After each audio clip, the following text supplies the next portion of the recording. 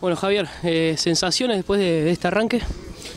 No, un poco eh, de impotencia, ya que deberíamos haber hecho lo que entrenamos en toda la semana y bueno, dejamos, en realidad nos metimos en lo que fue el juego de ellos, así que bueno, eh, me parece que hay que cambiar la, actitud, la cabeza, dar vuelta al capítulo y enfocarnos de lleno en lo, que se viene.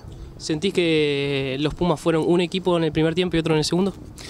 Sí, sí, en el primer tiempo sentí que, estábamos tibios, que ellos nos dominaron en, absolutamente todas las situaciones, pero bueno, supimos revertir la, situación, estuvimos charlando en el entretiempo, mejoramos eh, algunas cosas en el scrum, eh, algo de táctica de juego y bueno, eh, se nos escapó por poco, igualmente debería de haber sido un partido que, que deberíamos haber ganado.